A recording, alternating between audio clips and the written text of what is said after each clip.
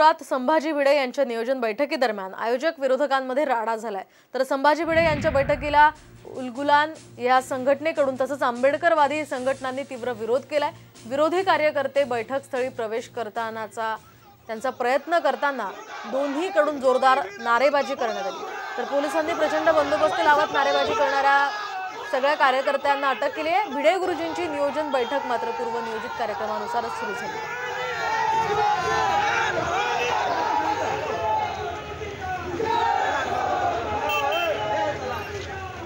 जातो त्या जिल्ह्यामध्ये दंगल घडवतो. संविधान विरोधी राष्ट्रध्वज विरोधी पोलीस विरोधी महापुरुषांच्या विरोधी असलेला हा संभाजी भिडे. महाराष्ट्रातला कलंक आहे. हा कलंक पुसण्यासाठी आज आम्ही त्याची सभा उद्ध्वस्त करण्यासाठी सारे बहुजन आंदोलनातले सारे देशप्रेमी लोक एकत्रित झालो आणि त्याची सभा उधळून लावण्याचा प्रयत्न करत असताना आम्हाला पोलिसांनी पकडलं आहे. त्याची सभा उधळल्याशिवाय चंद्रपूर जिल्ह्यातील सामान्य लोक स्वस्थ बसणार नाही.